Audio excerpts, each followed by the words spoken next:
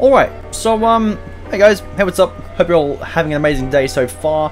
Um, just wanted to quickly mention and say I do apologize for the lack of uploads. I have mentioned it a few times already, but again, I am going to apologize again for the lack of uploads. The reason why is because um, the film school I'm going to been very busy.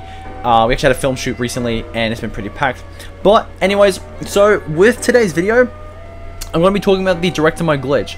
Now, before I do get into the details of it, this is most likely what you are not thinking of. So the director mode glitch, in which some of you guys may have found me from, so the director mode glitch, you know, from the with the modded outfits, this is not the case. In fact, what this is, is it's where you can bring the director mode menu settings into online. So what I mean by this, is that you can transfer modifications or settings from director mode. So for example, moon gravity or low gravity, uh, invincibility, slidey cars, uh, explosive bullets, flame bullets, whatever you can think of from the direct mode, you can bring it to online.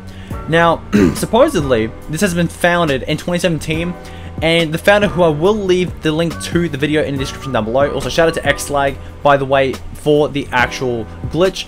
Now, now, for me personally, I don't think we can ever see this glitch or will ever see this glitch in action unless the owner or the founder of this glitch does say otherwise. Now, the reason why I actually don't want to see this glitch in action is only because of the amount of settings they can get from director mode that are really OP into online. So for example, like I said, god mode or invincibility, flame bullets, uh, explosive bullets, and so on and so forth.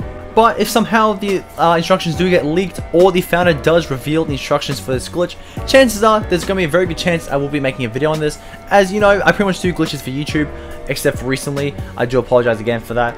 But if somehow this does get linked to the director mode glitch in which you can get modded outfits from, again, I highly doubt it. But if we somehow do, expect me to make a video on that. But anyways, this will be a wrap up for today's video.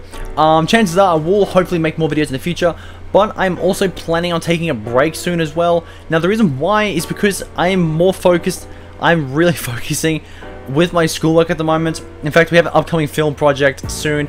Um, but um, yeah, anyways, I hope you did enjoy today's video. If you haven't already, make sure to drop a like and subscribe for more as we're currently on the road to 10,000 subscribers. See you all you guys later. Peace.